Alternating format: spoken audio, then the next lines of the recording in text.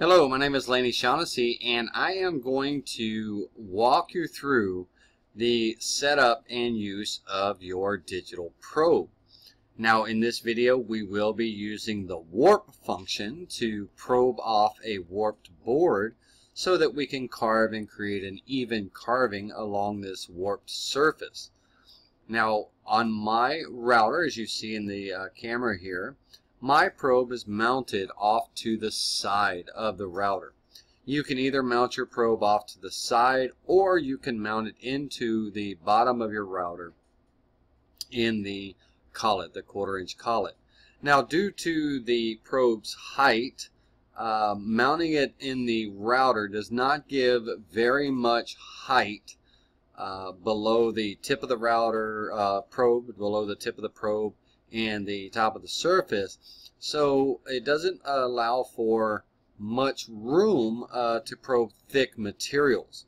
And if you notice on my table, I am using a vacuum clamping system and therefore my vacuum pods are about one inch thick and my material is three quarters of an inch thick and mounting it in the, the probe in the router uh, I would not have been able to use my vacuum clamping system so I have a mount off to the side. This is a very simple mount that was made with my CNC uh, to uh, mount the probe off to the side and I will make the plans available for a side mount. And down the road in the future uh, we may have an accessory where a probe mount will be built into the dust collection housing. That is not an item that we have available now but we may have it available in the near future. In the meantime a side mount is something that can be made. It can be made out of wood or in my case, I used an UHMW plastic, the same thing my pods are made out of. Now, when we want to, when we probe, we're going to be probing from the lower left corner of the board.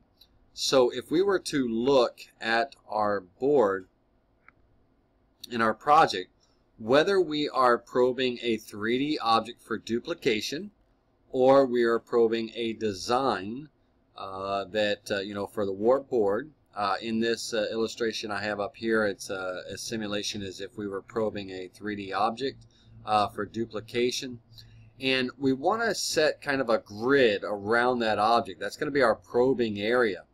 And on this area here, uh, the length along the x-axis is about 6.104 and the width along the y-axis is about two and a half inches. And so I would set that up in my TNG measure area, measure surface area, uh, with those two measurements and then I would tell it how far apart I want to touch off those points as it's probing this area. Well in my case I am going to be probing my entire board because I am doing a project uh, that uh, is just a simple carving and so let's go ahead and get the carving back in there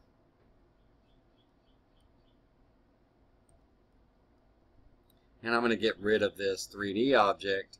And this is going to be the uh, carving that I'm going to be doing. So in my case because I am carving it on a warped board I want to probe the entire surface of the board uh, to capture those offset points.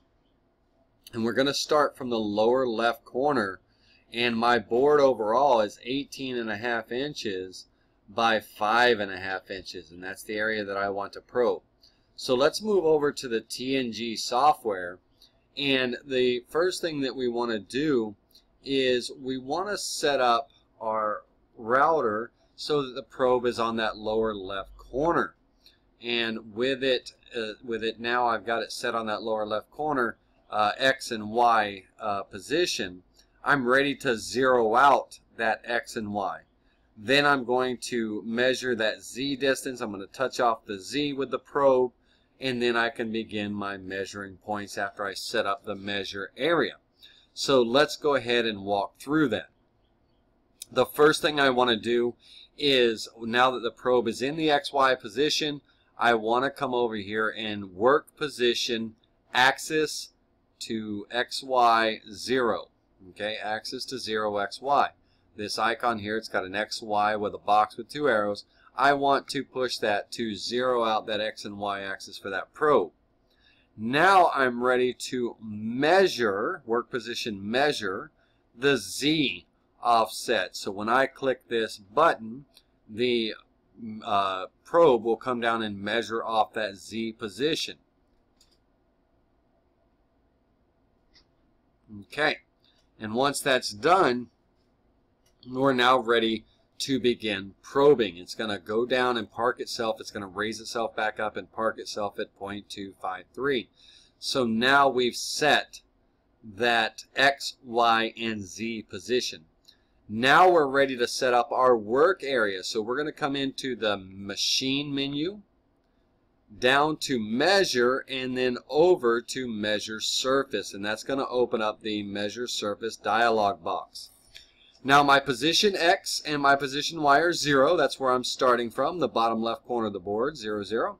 And the size X and the size Y is going to be the size of that probing area in the case of when I, you know, showing you the uh, 3D model that was going to get probed, that was a 6.104 by 2.5 on that X and Y, and we would type those numbers in there.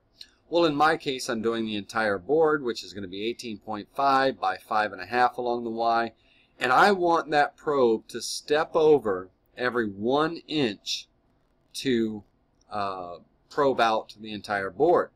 So I, with everything set in that measure surface dialog box, when we click OK, it will start the probing procedure. So let's go ahead and click Start. You will hear my uh, vacuum cycle every once in a while. Uh, we're going to go ahead and hit OK and start the probing.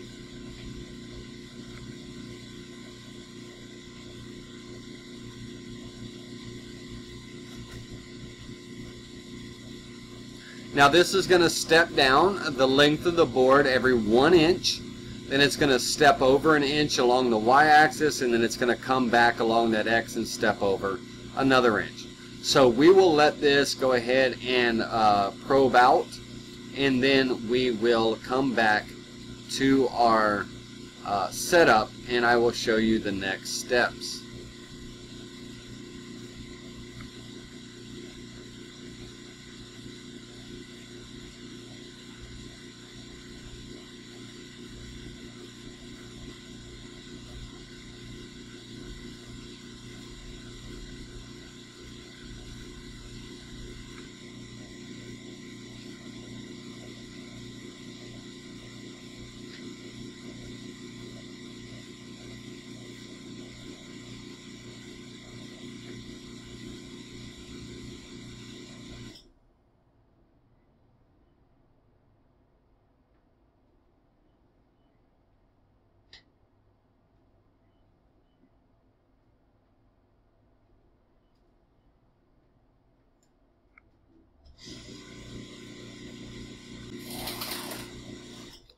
Okay, so now that the probing action is done, the probe is going to stop at the last probe point. And now I just need to bring it back to that XY0 position. And then ultimately I need to bring my router bit over to that XY0 position. So I need to know what the distance is between the tip of the probe and the tip of my router bit, my X, Y, and Z uh, offset distance from those two points which I know. My uh, y-axis, the distance from the tip of the bit uh, to the tip of the probe is 3.084. My x-axis is 0.031 and my z is 0.2. So I will be moving the router over to that position after I bring the router home. So let's go ahead and bring the probe back home. And we're going to click the XY0 button and we're going to bring the probe back to the XY0.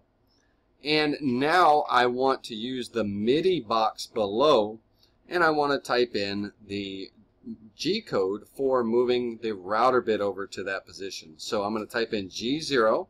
Y on the y-axis, I want to move a negative direction of 3.084. Along the x-axis, I want to move a negative 0.031. I'm not going to do the z because I'm going to be using my quick set touch block to touch off the Z. I just want to get the router bit to that X and Y position. So we go ahead and click enter and the router will now move over to that corner. Once I do that, I can now come over here and zero out the X and Y position. Now I'm going to raise the Z up and I'm going to get my touch block into place to touch off on that. So let me get the router into a position for my touch block.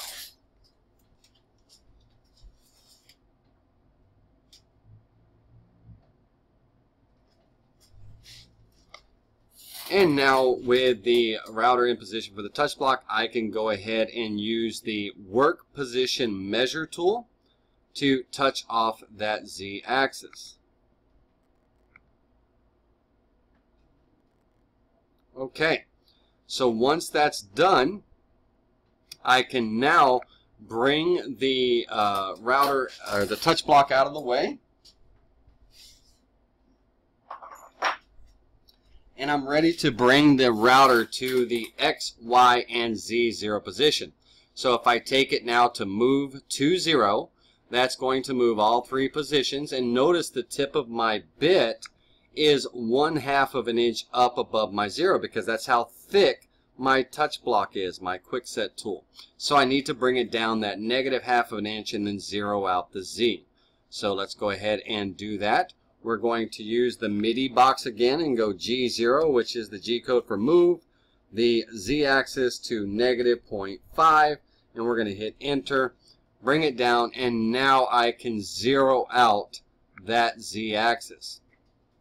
And I want to zero out the machine position while I'm here, and then just go back and get that work position set to zero. Now that I am at the corner of the board, I'm ready to bring in the file. ready to bring in the file that I'm going to carve. And uh, let's go with our Digital Wood Carver probe file here. And I am ready now to put the offset points that the probe just touched off into this program, this, this toolpath here, so that it will warp it to the warp of that board. All right, to bring those warp points in, we're going to go to Program, down to Warp, and we're going to load the files. Now, the files will be saved in your C drive, your Planet C or your Program Files x86 uh, folder, and your Planet CNC folder. You'll see a text file that says Measure Surface. You're going to open that up, and it will load all of the points. We have 114 points that it touched off and set for us.